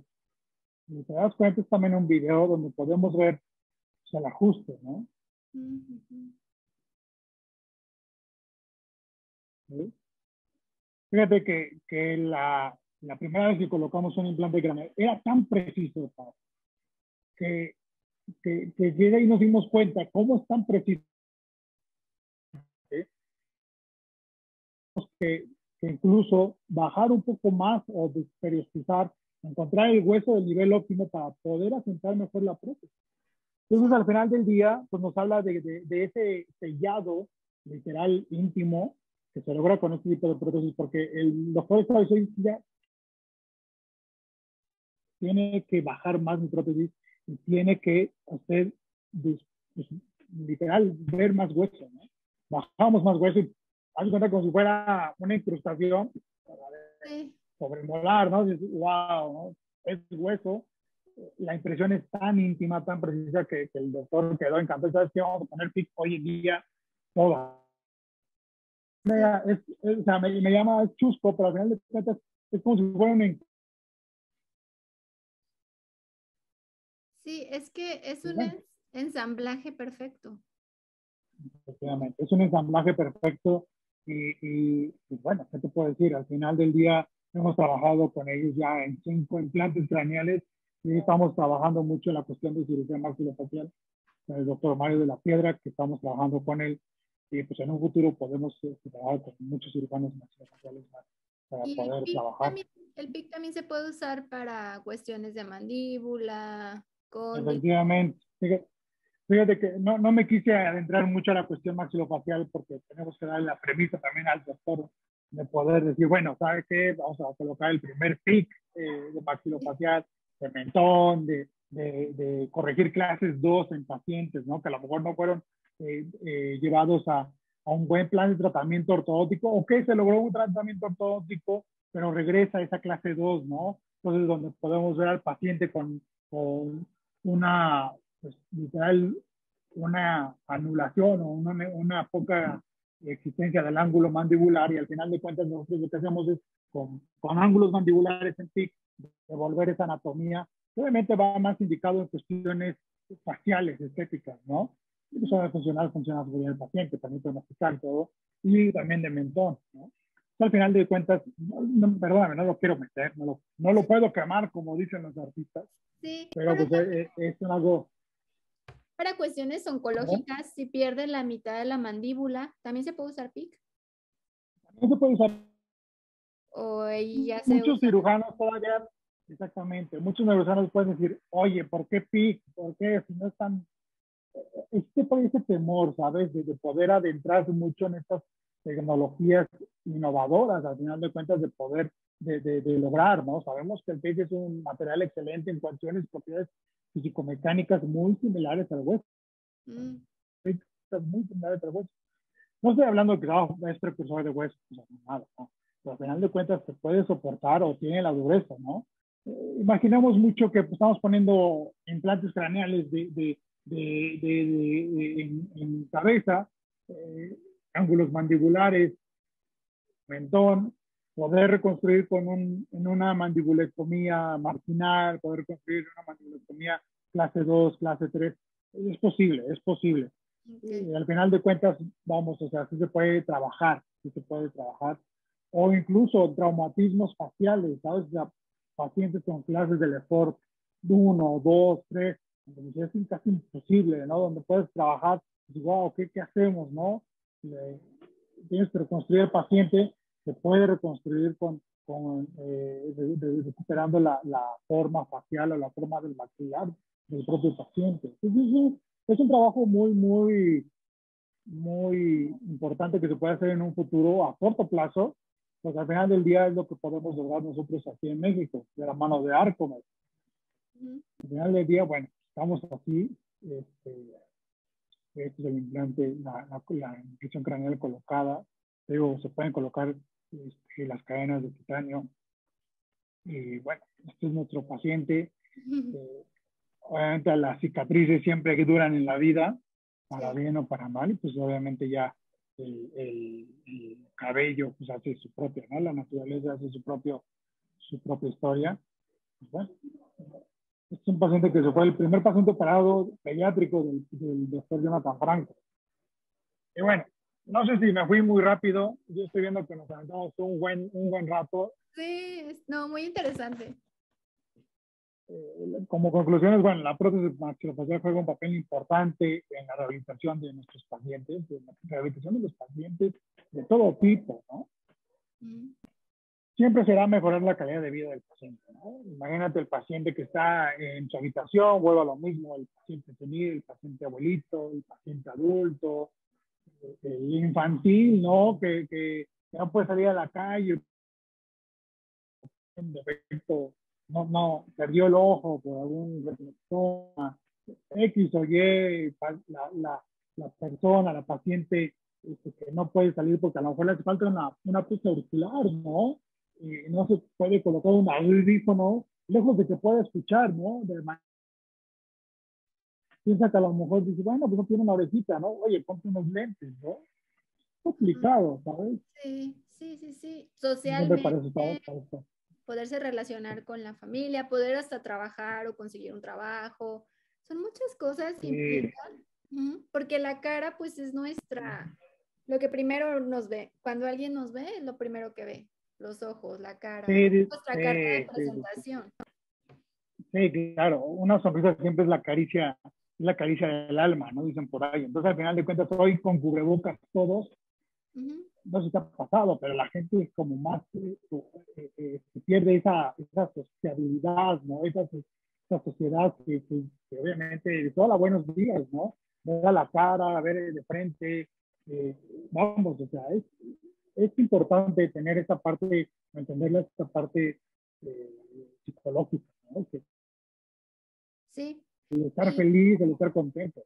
Sí, me sorprendió que yo he hablado con varios maxilofaciales aquí en el canal de YouTube y pues nos han hablado de prótesis de oreja, prótesis orbital, nasal, ocular, demás. Nunca había visto algo que ya se metieran a cuestiones neurofaciales y cranofaciales. Eso me sorprendió. No creí que llegáramos hasta, hasta eso. Y me está muy interesante. Me abrió mucho el panorama de la prótesis maxilofacial. Fíjate que a mí siempre me, me, me, gustó estar como, hacer cosas diferentes, ¿sabes? Como tener esa parte de, bueno, ya se hace esto, se hace el otro, pues hay que hacer otra cosa distinta, ¿no? Esa como decir, bueno, hacer ese, esa cosa distinta que puede hacer un poquito más, sí para uno de, de, manera profesional, pero también para el paciente, ¿sabes? O sea, tú no sabes, ¿no? La, la calidad de, de, luego, la sonrisa que llega al paciente en su consultorio, doctor, bromeas con él, pues mala, malamente, porque tampoco tú eres un amigo de los pacientes, pero sí bromeas con él, eh, pues conoces a lo mejor al, al, hermano, al tío, al papá, a la hermana, al primo, y pues se hace una, una padre, una sociedad padre. Eh, obviamente tenemos muy buena estima de varios pacientes, y pues necesitamos, ¿no? Para, para servirle a, todas las, a todos los pacientes de México y de nuestros alrededores, ¿no? Gracias, fíjate que, que, Podemos hacer un equipo con muchas especialidades de la salud podemos ser mucho equipo con muchas especialidades. Y, y a mí me tocó, fíjate, yo voy a decir mi edad, 35 más 1, 36 por lo de la pandemia, pero al final del día, a mí me tocaba todavía, estando en pregrado, pues había el médico que se sentía en otro nivel, ¿no? Y, y hoy en día eh, creo que también mucho hacer la mentalidad del de, odontólogo de poder tener más conocimiento, ¿no? De poder tener esa apertura, eh, pues sí, mental, sí, sí, de, de de actitud. Decir, no, ni no, o sea, yo me, yo me, yo me fleté cinco, seis años, cuatro años y medio, y me voy a aventar la especialidad y todo, y, y fíjate que esto está padre, o sea, tener esa, pues esa cuestión de actitud.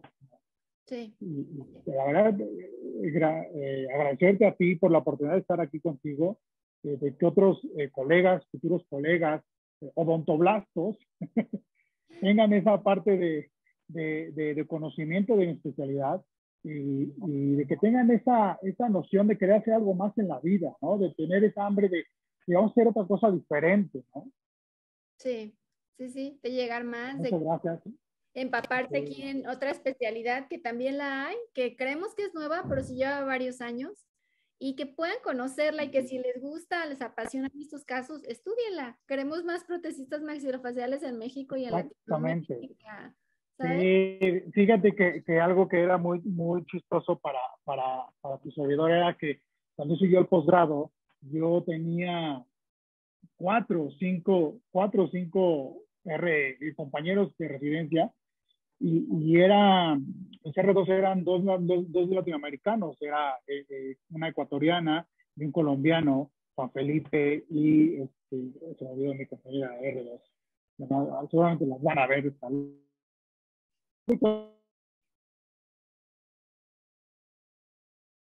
Era sorprendente que ellos eran cinco y había dos extranjeros y tres mexicanos. Entonces, wow, ¿no? O sea, digo, no haciendo, no haciendo menos a mis compañeros latinoamericanos, pero era para que hubiera más mexicanos, ¿no? Sí. Hoy en día creo que ya hay como más apertura. He visto por ahí este, colegas que van egresando y que ya hay más apertura. Y pues también está padre, porque al final de cuentas sí hay mucho, mucho campo, mucho paciente que por ahí todavía no sale de sus casas y que pues, obviamente... Y que trabajan mucho con, con oncología, y también, por ejemplo, yo soy de la Universidad de Guadalajara y también ya está la maestría, que es la de... Sí, creo que la está llevando el doctor Jorge, no tengo mucho gusto de conocerlo personalmente, pero sé que, que, obviamente te imaginas en el occidente del país haciendo una especialidad de este tipo, pues la verdad es que es muy padre, es muy, muy gratificante que dentro de la especialidad pues se abra otra oportunidad, porque cuando yo la hice, había solamente dos escuelas, que era el Hospital General en la Ciudad de México, el Hospital de México y eh, donde yo estudié, que es el DPI, que es la, dentro del Departamento de Enseñanza eh, de, de, la Facultad de Odontología. Enseñanza e investigación de la Facultad de Odontología. Entonces, eran dos escuelas, pero él, bien tuvo, él egresó del hospital, se llama recuerdo, el Hospital General, eh, y él, de la mano de varios, varios este, colegas o varios médicos, se instaló la escuela ahí en la Universidad de Guadalajara sí he visto, he visto grandes, grandes colegas por ahí, grandes trabajos. La verdad que está padre, está muy, muy padre que más gente se sume, que esté más padre. Eh, pues felicidades, te digo, te reitero mis felicitaciones. Eh, pues, contento, contento de estar. Me, me, me, ya tenía un ratito que no me invitaban a una conferencia. Yo eh, estoy feliz de que esté aquí. Porque hemos aprendido muchos, al igual yo y todos los que nos están viendo y escuchando. Si algún paciente o algún colega lo quiere contactar, lo puede contactar en Instagram, ¿verdad? Así es, mi, mi, mi página de Instagram, de hecho la vamos a poner aquí. Ah, ok. Es prótesis maxilofacial MX. Como bien dijimos hace rato, tengo mi página de internet, que es prótesis maxilofacial MX, o mi correo, mi correo de, de, de prótesis gmail.com, donde podemos platicar pacientes, colegas, este, neurocirujanos, por ahí se puede colar nuestra plática, sería excelente, este, cirujanos maxilofaciales, que seguramente tienes un gran, un gran campo, y pues poder trabajar juntos, ¿no? Poder hacer sinergia con ellos en beneficio de nuestros pacientes, en beneficio de, de, de la salud ontológica y también de la, de la cuestión protésica maxilofacial de México, ¿no? Es muy fuerte, o sea, me, me, me, sorprende mucho que a veces por ahí luego tenemos como ciertas, ah, el miedito, ¿no? Pero pues afortunadamente siempre, siempre somos un poquito más los que queremos aventurarnos en hacer otras cosas. Sí, e ir conociendo, yo creo que la prótesis maxilofacial a lo mejor nunca va a dejar de, de usar materiales básicos y alginatos y mil cosas, pero también hay que aprender como todo lo que trae la tecnología, los avances, irnos empapando y poder usar este, laboratorios como el de usted, el Arcomet, este, y valernos de la tecnología y todo lo que está llegando a las a odontología en general.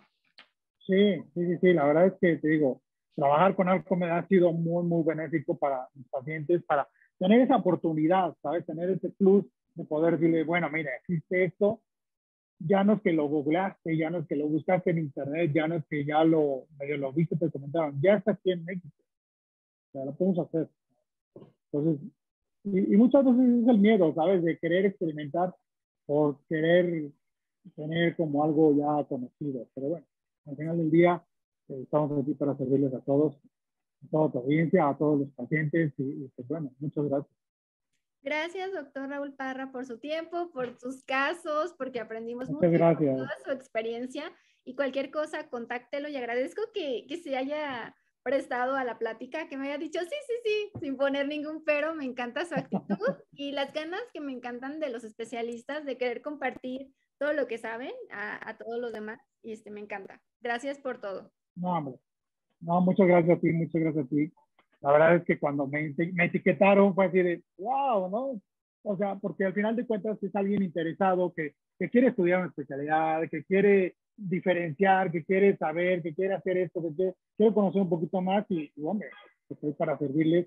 Este, estoy encantado, encantado por la invitación, no ningún pero.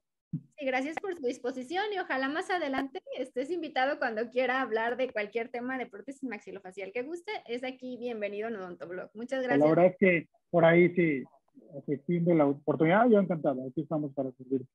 Gracias, le mando un abrazo. ¿Usted ejerce nada más en Hidalgo, en Pachuca Hidalgo, también en Querétaro, verdad? Así es, yo tengo, obviamente como, como protesista maxilofacial, hice dentro del INCAN un diplomado en odontología oncológica, este, de la mano del doctor Vicente González Carril y la doctora, y la doctora Idieta.